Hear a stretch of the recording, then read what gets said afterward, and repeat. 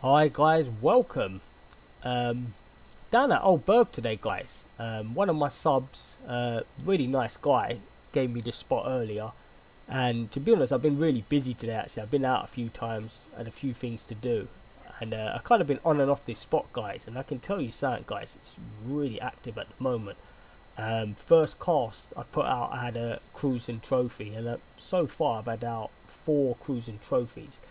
Um, really nice to fish here actually. I'm at um, 2367.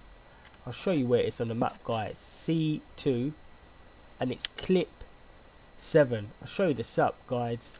Really cheap, easy setup to do.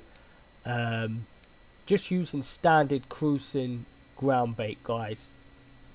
Um, I'm on the 6 kilo leader. I did drop down to the 3 kilo leader, but I didn't see much difference, guys. And there is, I know there's eels coming out of this spot. Um, I've had a few small ones. Um, I know they can be really strong. Uh, one of my friends had one on quite a while the other day, on about six kilo leader. So I thought, let me go to six. And to be honest, the bite rate for me has not really made much difference between six and three. But you probably will get more on three. So bear that in mind, guys. Um, I'm on the 12 hooks. Thought I'd go a bit smaller try to get more bite rates. And uh, I'm on the night crawlers. They that that's the best bait at the moment. I did try a fish piece last night. Um, didn't work too well here.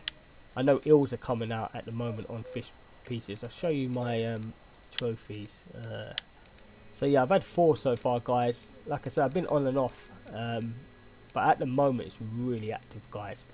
If you want to catch trophies or make easy silver, get down there, guys. But anyway, guys, I just thought I'd bring that spot for you. Quick update. Um, we'll, we'll keep you guys updated if I find any other good spots. I know Bear Lake at the moment is fishing well, um, but I just thought I'd make a change, come down, watch the football, fish down here. It's nice and easy.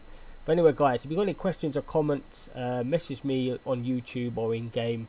Until next time, guys, tight lines.